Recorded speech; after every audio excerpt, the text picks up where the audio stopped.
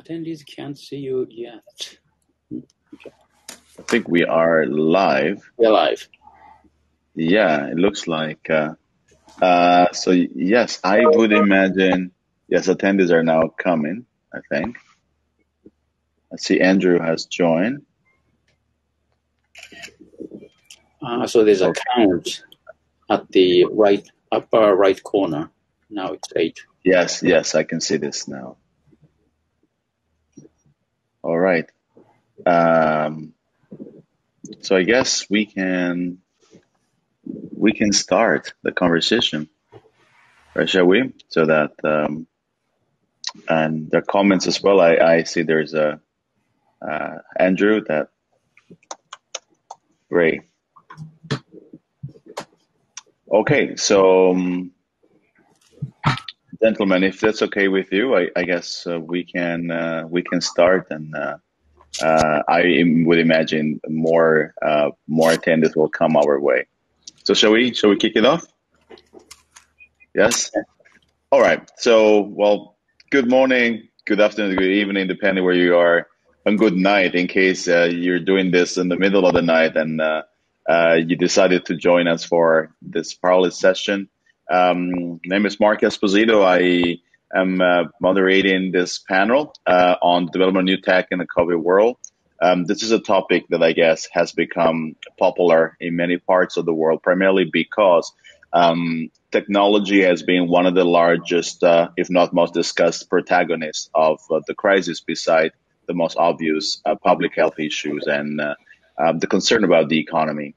And and uh, one of the conversations that we're going to have today is how, in this integration with the new normals, as they call it, um, we'll see more and more uh, possibilities, um, opportunity for technology to become uh, um, a form of augmented performance, um, ability to reassess our systems, and of why not uh, even looking at a possible renaissance in terms that building foundations for um, a different uh, set of um, um, imperatives. Of course, a number a number of opportunity that will come from a reform way of doing business, and uh, you know the navigation of a system that seems to look um, asymmetrical, and it seems to be asymmetrical for the years to come. So of like lost a bit of the sense of convergence we used to have, and we're now looking at something a little bit more K-shaped, as they call it.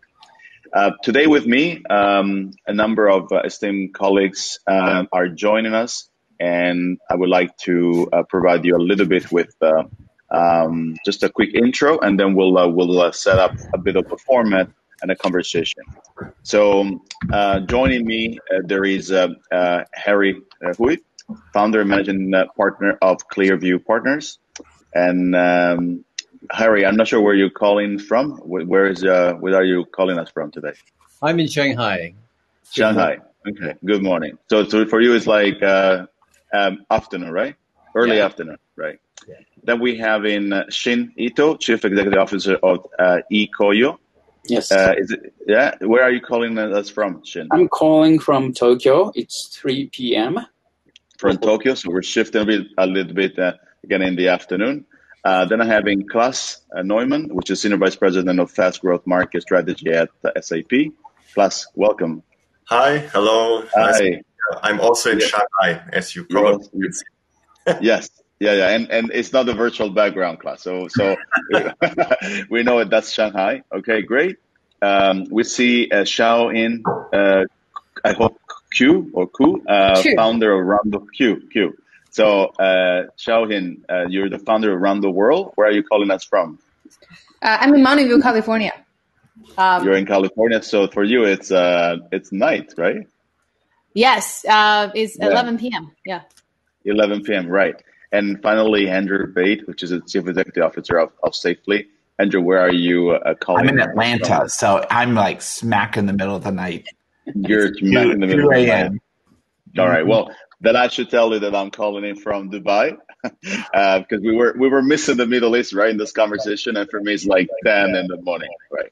So we we really are going from the West Coast to mainly the East um, to uh, Middle East, and of course we have uh, a group of you cluster in Asia between Shanghai and Tokyo. It's fascinating. So maybe um, maybe uh, Harry, I'll start with you. Um, I'll ask you maybe guys to spend uh, two three minutes on some opening remarks on how you see um, technology and COVID been integrated into uh, what you see rising as the new normals. Um, how do you see opportunities? If you can share some of the observations, we'll try to round uh, on um, a first uh, round of contribution from each one of you, so that we're collecting that experiences, and we'll use this. We'll use the second part of the conversation maybe to discuss, to have uh, chit chats on this, and seeing which way we can uh, create value for our viewers. So, Harry. Yeah, good morning, good evening, everybody. Uh, pleasure to be here. A lot of experts on the call, so I look forward to a good session of mutual learning and discussions.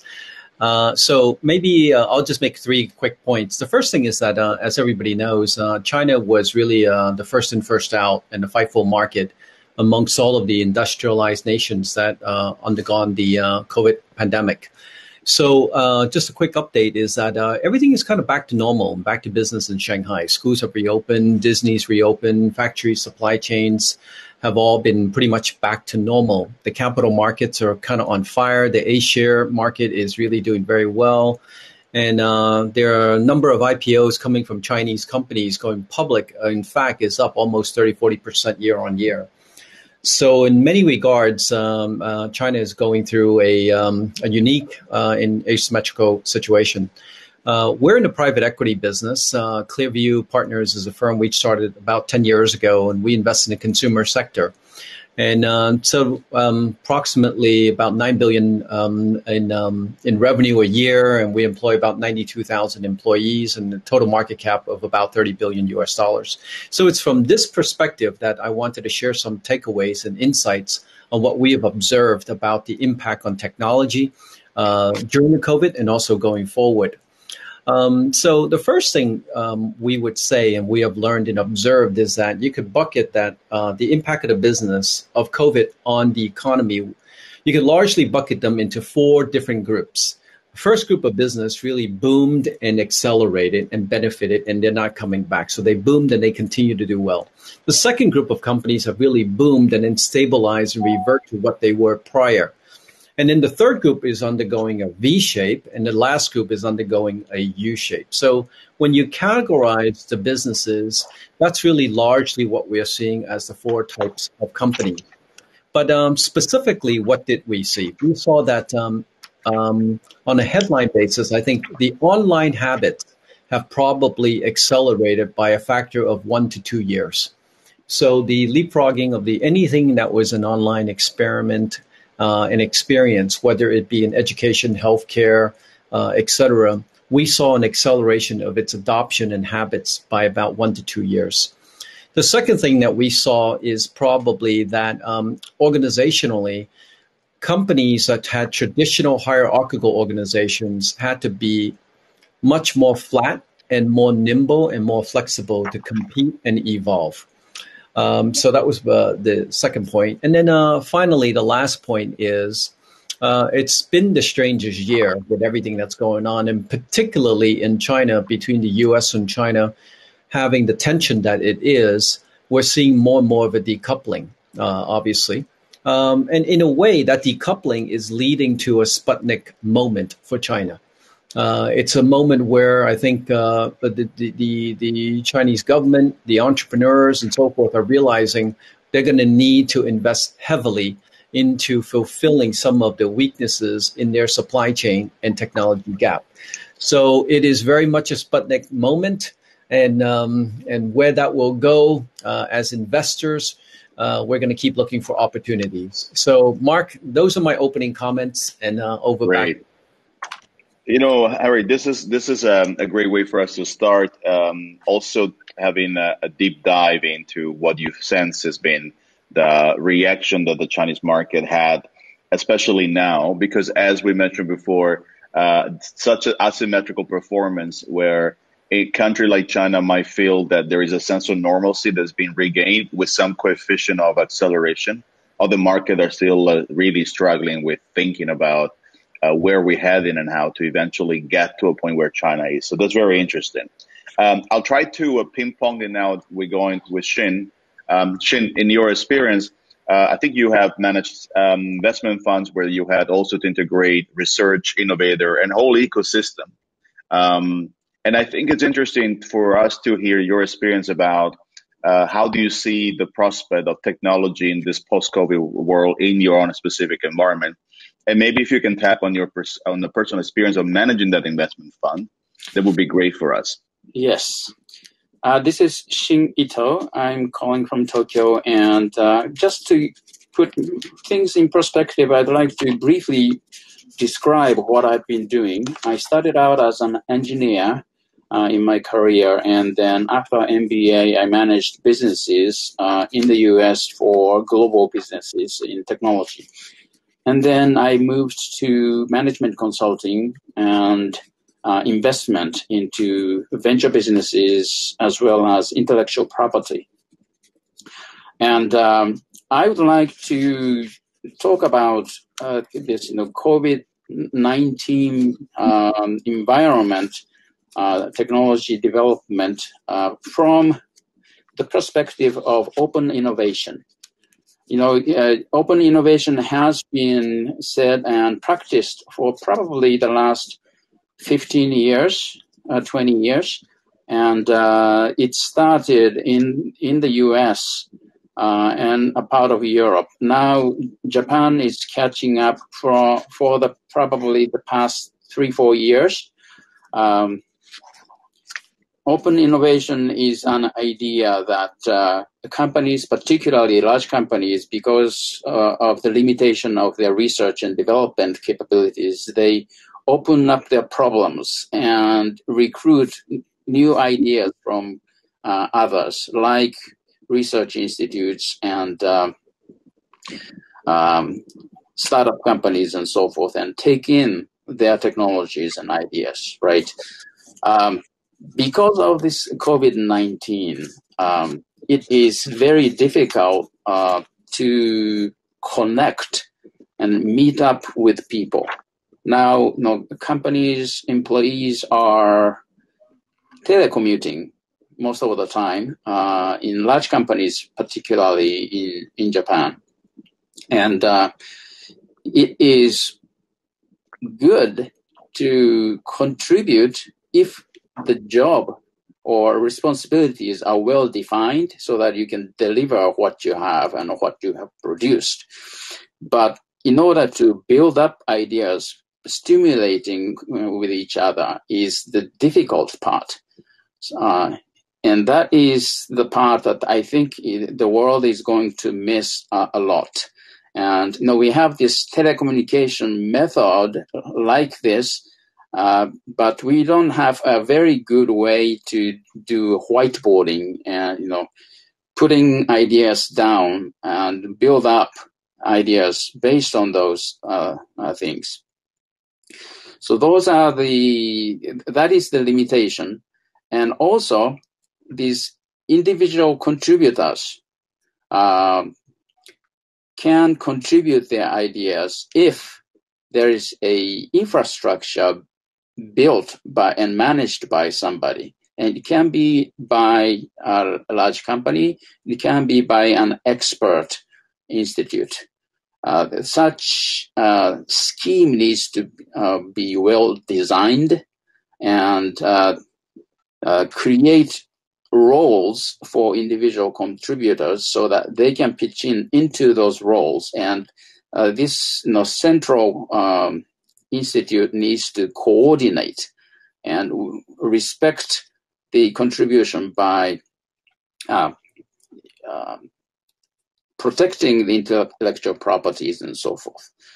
Um, those are the sort of necessary uh, infrastructure for technology development. Um, and not only technology development, but also on all the way into commercialization. There are you know, certain ro- roles that need to take place. You know, the for the technology to grow and become a part of the society. Great. That's initial comment. Thank you very much for these initial comments.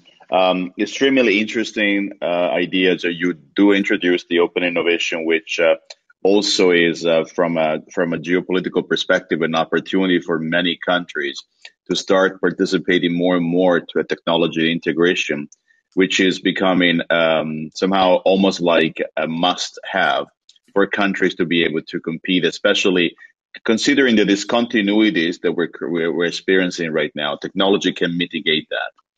Um, so from from your experience, we'll we'll still still be in the Asian cluster, going to Clas now, um, from Shanghai again. Clas, in um, the original briefing that we had when uh, you got in touch with me, there was a very interesting um, way for you to describe that out of the, I think, 35,000 engineers that you have in at, uh, at uh, SAP, right, SAP, uh, most of them now are still in remote working. And now, after this extended period of time, some reflection will actually be made on the effectiveness of this, but also what you see maybe the implications. So your your contribution when I was um, reading it really take us into the relationship between technology, but also the future of remote working. And if you can share so your perspective with us, that would be great. Yeah, thank you very much, Mark. And uh, I can also relate very much to what uh, Harry and also Shin said from a China and also open innovation perspective, because that really links together. Because uh, the 35,000 engineers, which my role is actually to coordinate across uh, 20 different labs in 17 countries, are now predominantly sitting at home. So it's a way, it is an open innovation now because no people can't come really together anymore in most countries, and that is a unprecedented situation for for a company like ours. And it has also pushed, of course, internally, and we can come to the external usage of SAP products later uh, but internally, of course, it has pushed also the, the limits of the type of technology we are using, uh, new tools for collaboration, and so on. And but what we also, of course, um, we realized a few things over the last, meanwhile, six months. Yeah, engagement level you can keep up. I think that is possible. Yeah? If you if you manage the colleagues well, if you communicate a lot, you are able to to engage. But nevertheless, for many people, the stress levels increase. Yeah. So um, family situations, all of this is now mixed up with the daily job. That doesn't make it really so easy. And then in engineering and innovation in specific, right? Uh, you build a lot on collaboration, on mutual trust. Uh, sometimes speed matters and here we see it's it's not that simple. Yeah, um, there are areas where we feel uh, if we would be able to meet, it would be much quicker, much better. Yeah, take knowledge transfer. Yeah, now you you include new people into a team. You have a reorganization. People then have not never met their boss. They have never met their peers. Uh, and here you are, and, and now you are supposed to work as a team uh, from the beginning. That's that's not easy. And um, despite all the tools and also what we do here, uh, often um, the the kind of um, social psychological factors also matter there a lot. So um, we try, of course, to, to overcome this, but on the other hand side, um, we are still indeed closed in some of the major locations, including the United States, including India. Uh, whereas here in China, uh, we are all open and, and we test now here in China different new working models because I'm also sponsoring a project at SAP uh, working in the post-COVID world, uh, hoping that we reach this world at some point. Um, and therefore, we are trying to, to test these things out. So how can we organize teams if a certain number of people works from home, etc. So this is currently where my thoughts are around. And then I'm happy to add later to the more digital roadmaps here, which we also observe. Right. And the interesting part on this is, uh, um, Clas, that you're bringing up a perspective that we could not really have at the beginning of the pandemic, because at the very beginning, we're celebrating the ability to uh, alternate the physical world to the digital one. We find it that there's a way to salvage uh, our productivity to some extent and we expand the opportunity now that technology makes it possible for us to be in different time zones and suddenly collaborate. Yeah. At the same time, uh, we start noticing then some unintended consequences are now revealing themselves to us. And maybe they will have an impact on productivity. So it's interesting. A perfect example where the delay effect is now occurring that we need to actually take into account, and that's fascinating. Um, as I'm moving, thank you for this, and I'm I'm moving to collect now the experience from uh, uh, Xiaoyin, um, and I also invite all the attendees uh, and what, those watching. If you have any question for the time, we're going to be a much more uh, open format. Please type it into the chat, and we'll try to take them. So let's go now to California. So we're going to go in late evening and um, Xiaoyin, your perspective. Uh, you have somehow facilitated um, also the existence of a moment like this uh, since you uh, are the CEO around the world. So tell us more from your perspective. Okay. Yeah. So uh, can you hear me? Okay. Yeah. Okay. Uh, cool. we can. I cannot hear you. Oh, I can hear her. Oh yeah, I yeah, Yeah, I so, can hear uh, you, Clas, but I cannot hear for some reason Xiaoyin. So Hi. I don't know if it's me. Uh, It must be me if you can hear. Yeah. So uh, yeah. So Uh, thank you so much for having me. Um, No, actually, sorry, Xiaoyin, I don't hear. You hear me, right? Mhm. You guys hear me fine. I cannot hear you. To me, it looks like there is a a mute sign on the microphone. So I don't know how to. Um, um, Wait, let's try it again. Works. Okay. Uh, yeah, I probably, I'm not sure if it's my system or not, but I don't think so. I actually see all of you with, um, with actually a mute sign with exceptional Clas. Um, so Yeah, maybe then centrally somebody has to mute me or or we get all unmuted again. you, you guys can all hear me okay, right? Yeah? Okay, Yeah. cool. Well, I can just start. So, hi, uh, I'm Xiaoyin. I'm the founder and CEO of Around the World. Uh, well, thank you so much for, first of all, uh, coming to Around the World for this event. Uh, we started the company uh, a little over a year ago. Uh, when we first launched, it was the week before COVID. Um, that time, you know, online events was a, new thing. I guess when we first launched the, when we first started the company, people think it's a stupid idea because I'm uh, they're saying, "Hey, I'm flying to Vegas every year for some fun time, and you're not depriving me from having those amazing times." uh, and so, it's very beginning. People don't trust the idea of online events because they don't believe that people can make relationships online. Uh, so, uh, when we first uh, launched the product, it was a week before COVID, uh, and we kind of immediately see a lot of um, interest. At the very beginning was probably March, April time. Uh, people were just trying to figure out a solution to move everything from offline world to online world. Uh, and the very easy thing was to kind of replicate exactly what you had uh, on off- offline conferences and move it online and, and call it a day. Uh, uh, the thing that then we realized is that that format does not work. Uh, the format of having um, people just looking at webinars all day for uh, you know for eight hours every day um, and three whole days uh, doesn't work. Um, people don't really like to stay that long, especially if they don't get to interact with other people. We also see that the the events, even though you, you invite the best speaker like Beyonce to come, uh, the monetization upside for people paying for those events also doesn't doesn't work. I mean, it's not the same as um, as watching Beyonce talking at you uh, in a Zoom webinar compared to actually meeting her in person. And the value that people can uh, prioritize is just simply not the same. Um, so then we, we started to see a lot of changes in how do people approach events in general, where right now we see that the biggest value add is really uh, abilities to first interact with speakers on two-way conversation where you know you're not just passively listening you can interact with other people uh, and the other value that people really see is the curated social experiences where you know that the people you're going to meet are sharing something in common with you and it's not going to be a waste of your time um, and so uh, the funny thing about the the online events format we see is that the introvert uh, are now more active uh, online than uh, than offline. Um, because when you go to a physical cocktail party, if you're introvert, you better drink more because then you, you don't know what you're gonna say. you better carry more drinks. Uh, but it- when it's come to online, so we have this format. You guys probably tried an online cocktail party. What we find is that because it's all only five minutes uh, and it's just matching to you, uh, so you don't kind of you don't feel like you're being judged, which is really important. Uh, we see that if you don't get it, it, the, the Tinder way doesn't really work on the online events world because if you get rejected twice, uh, you just kind of lost interest or lost um, you know confidence or whatever um, that you just don't want to engage anymore. Uh, so we're kind of designing new formats to say, hey, what is the right format for introverts to not feel like they're uh, being judged all the time and, and helps them figure out the right first sentence to say. Um, so those are kind of the, some of the new opportunity we see. And obviously, the other part about the remote is that our company used to have an office. Uh, it was a, a, team of seven, um, and then a team of ten around six months ago. Team of seven, maybe eight months ago.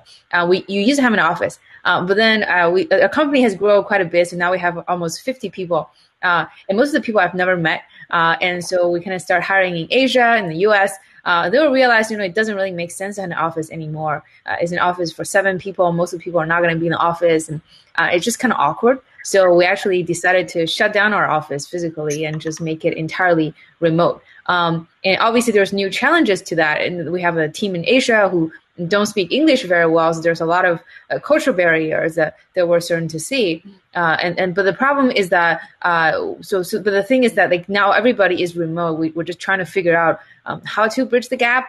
Um, so we're trying to run some cocktail party internally to see if we can break the ice. Uh, but it's, it's, still a work in progress, and I'm really curious to hear your guys' thoughts on how do you make your team come together um, despite being remote. Wow. Um, now I, I was able to hear you, Xiaoyin, which is great. I, That's great. I felt actually I was not included into the, this party, right? Exactly um, what you were sharing in terms of inclusion.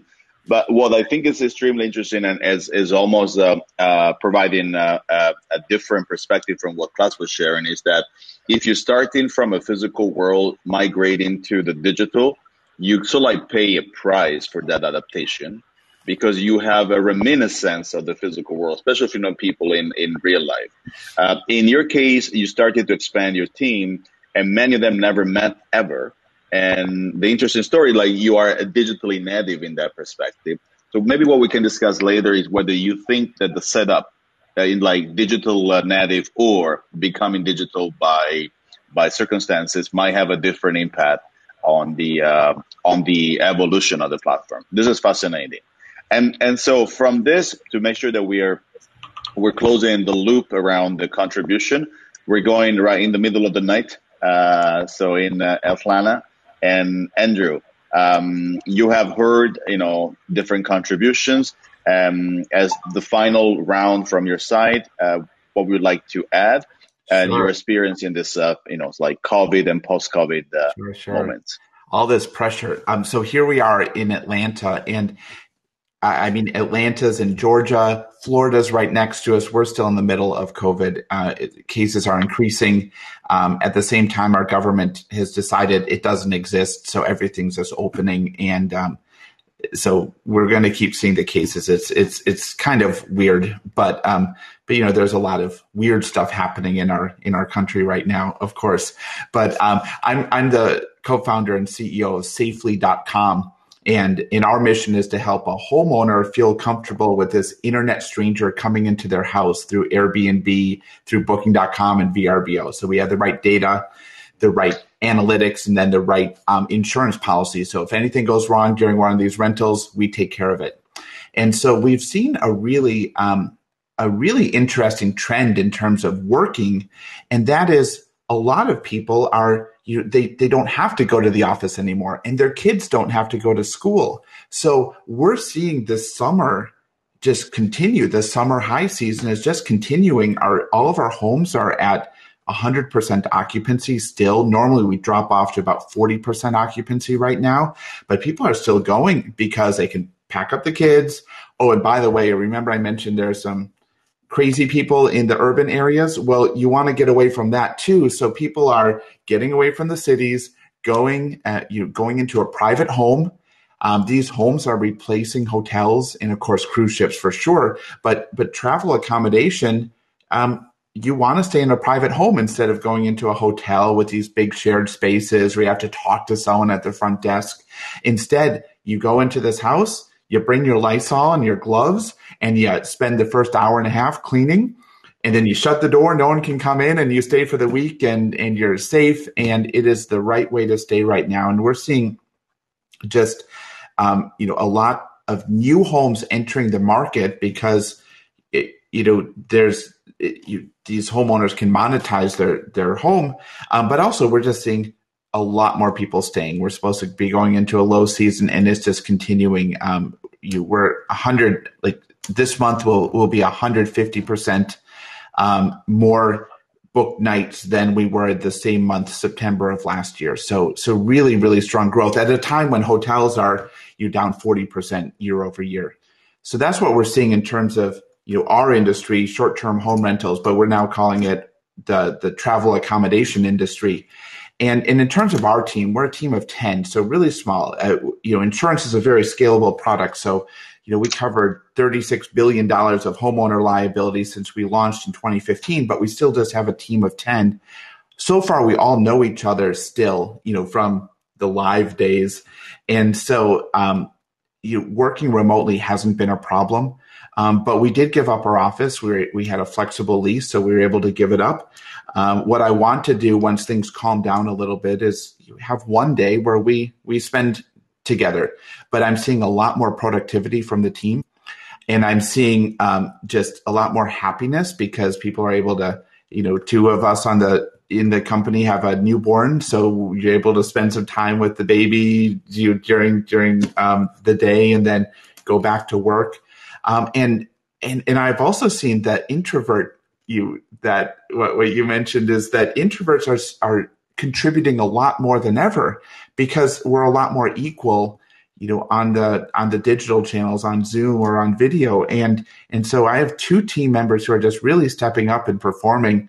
Uh, i mean they've always been performing but but they're a lot more vocal and playing a, a much greater leadership role. So so that's what we're seeing here fascinating i i find that this the this experience that you're sharing with us fascinating because I guess and this is a, a perception I have and and I think we all are perceiving it through your experiences is really a new rising paradigm uh, that is becoming much more concrete. I think in the very first stages, uh, we were trying to wonder how solid this new paradigm could have been.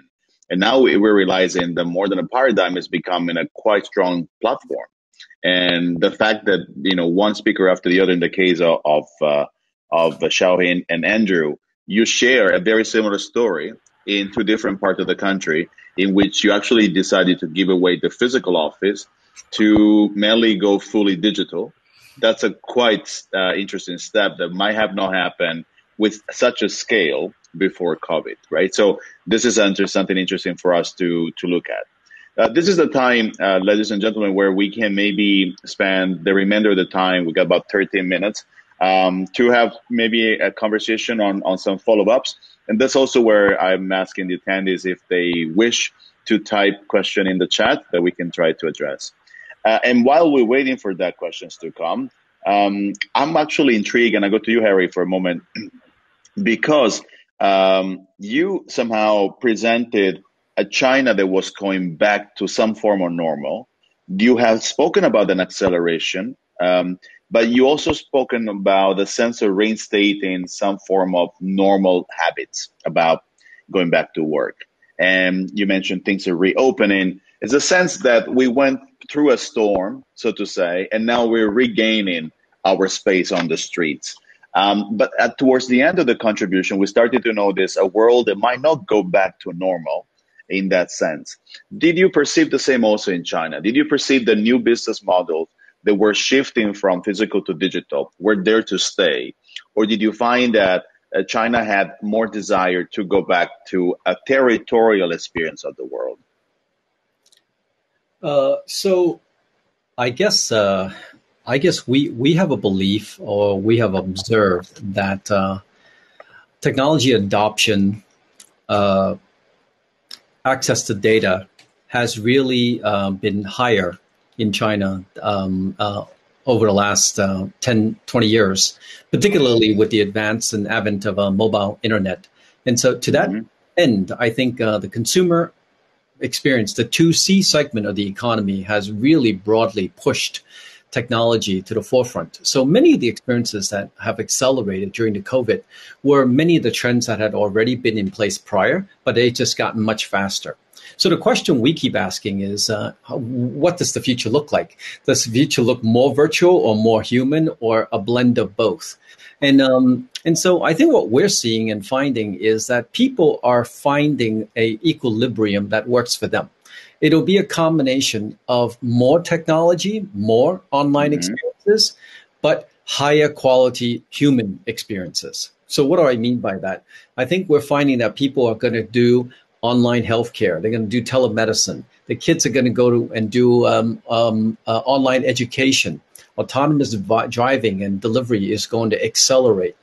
And uh, that's going to free their time up to do many of the other things that they like to do in human terms. And so I personally feel that uh, after this is all over, there's going to be an explosion of hedonistic consumption in China, mm. where people are just going to want to come back together and party and get together and spend. But then when the dust all settles, they're going to find that technology is a really good enabler for them to free up the time to do the things that they want to do more of and leave the things that they don't want to do more of to the technology. So that that's very interesting, Harry. And maybe that brings me a linkage to uh, Shin, who is in Japan. And Shin, a question that I've been having since some time is that Japan is a country that has been uh, somehow more advanced in building a rapport with technology uh, in comparison to other countries. You know, uh, we all studied the fact that innovation in Japan was almost second skin uh, for Japanese, and also we we also look at the degree of technology breakthrough that were coming in Japan, different from other country where they might have served an external market. They were instead serving the Japanese community first. So many of those innovation, they serve the community first and then they scale outside. So you heard about almost like a world that wakes up and discover uh, how technology can change our life. But in the perspective of someone who is currently in Tokyo, did you find the same acceleration towards the discovery technology and a little bit less, uh, um, less, let's say, um, caught by surprise by the events of the last few uh, months?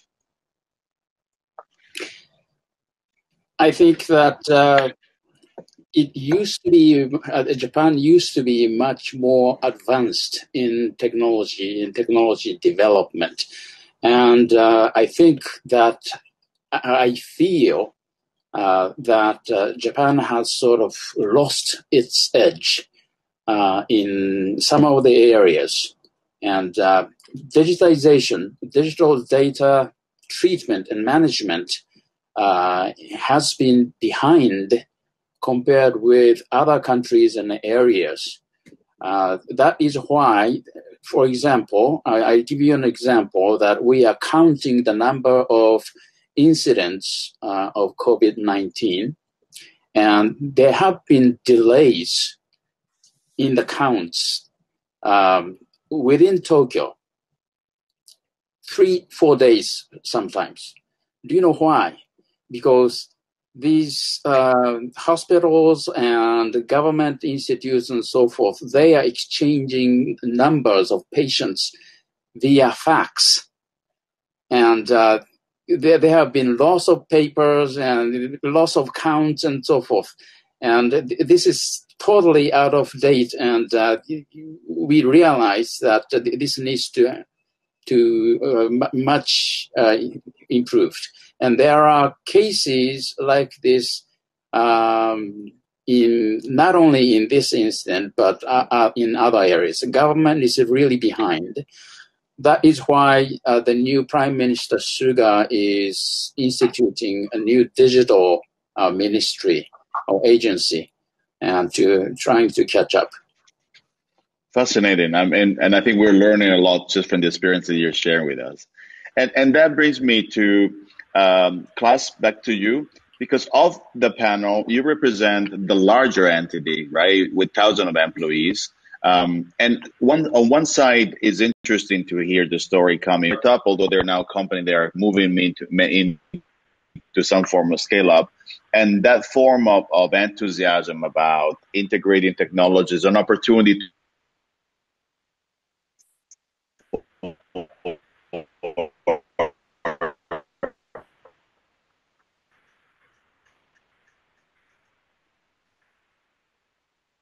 um, about uh, Safely and, and Run The World, but not too much in large entity or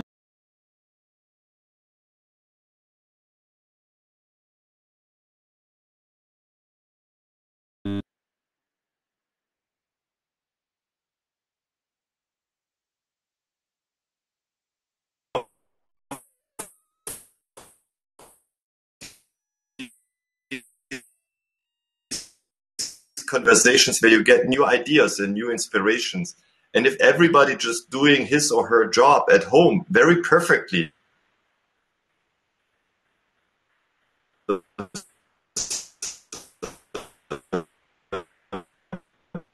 basically of, of everyone. Yeah. So basically the sum of everything should, or the whole should be more than the sum. We in a larger engineering uh, organization, of course, are always striving to achieve.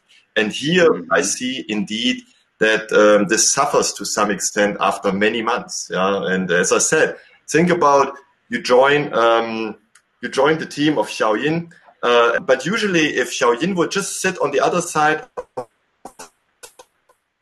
the table, so much more of communication would happen. Like, hey, how do you do this? Oh yeah, thank you. And and you can clarify so many questions just in a 2nd mm-hmm. Yeah, and and I feel it's a little bit. How can I say? Uh, if a very experienced person, right, sits at home and says, "I know my job. I'm a software architect. I know it all. I can do it from here." This may be right, but what about the others? Why don't you share your knowledge anymore? so, I think we need to take a good balance, and this is what we want to achieve. And and to to Harry's remark, I I 100% agree the digital models that bring real value to the people will stay. They will definitely stay. And we will see mm-hmm. much more of this. Education, I have my doubts because mm-hmm. the online education, the teachers hate it, the, the, kids hate it, and the parents hate it. So I think there is no value there for anyone. and the biggest day in Shanghai was 10th of May when the schools reopened, I tell you. you know, I, I find this uh, fascinating what you share, Clas, because it's the same idea would we use technology to check in for a flight and have our own boarding pass? The answer is, of course, is a no-brainer. But we still like to physically line up and get checked in in a hotel. And you could say the same could happen, but why don't we do this?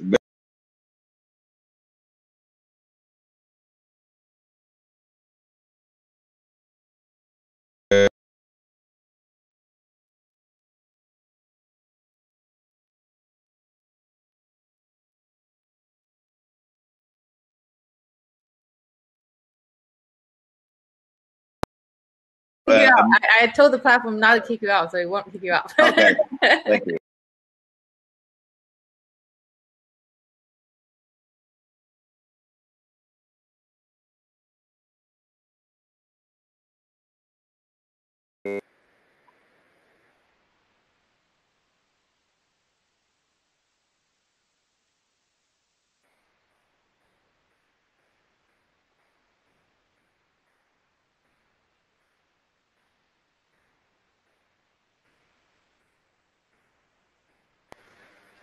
Progression happening coffee break, right? Or lunch and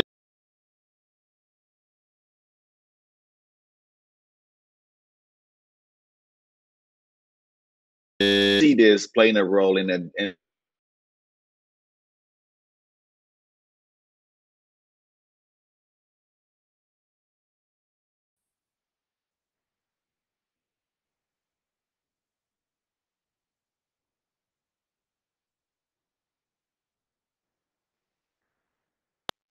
right now. If I don't travel, if I don't come here physically,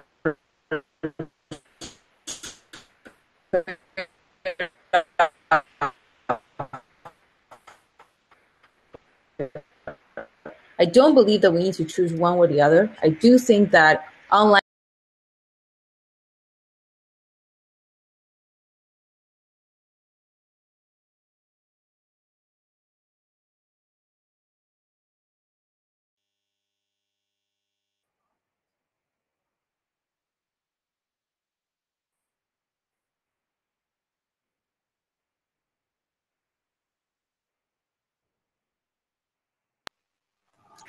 So, uh, Andrew, yeah, and then I'm, I'm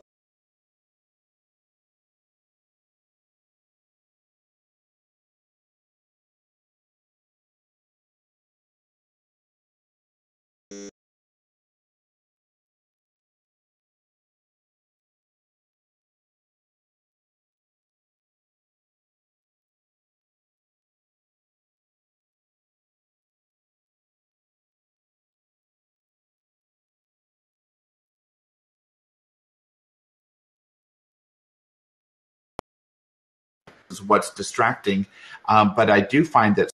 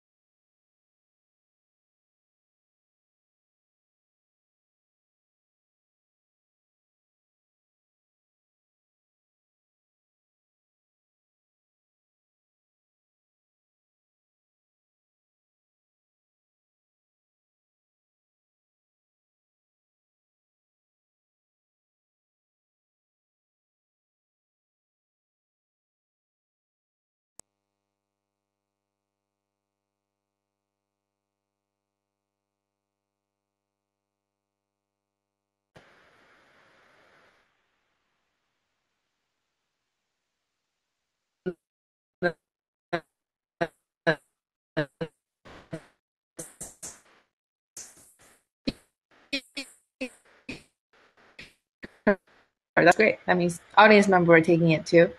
Yeah.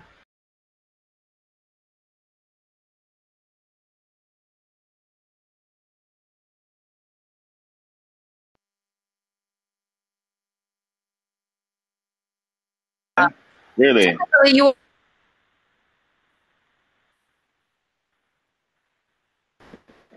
I would feel nine people are doing it. I feel like I cannot interrupt.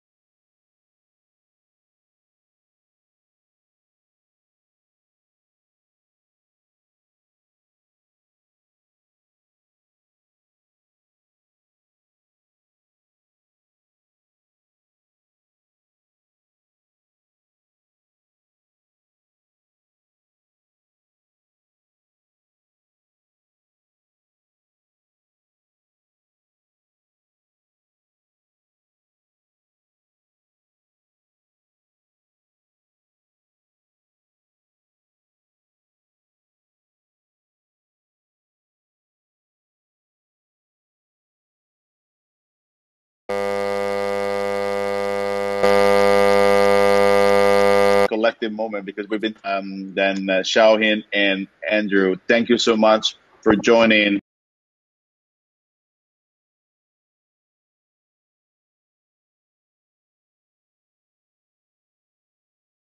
Day afternoon or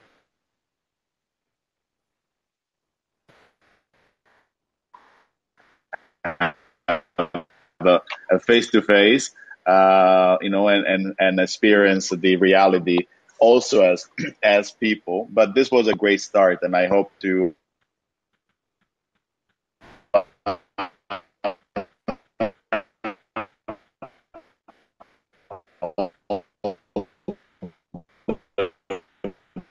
Best, and we close the session. Thank you for all the attendees. All the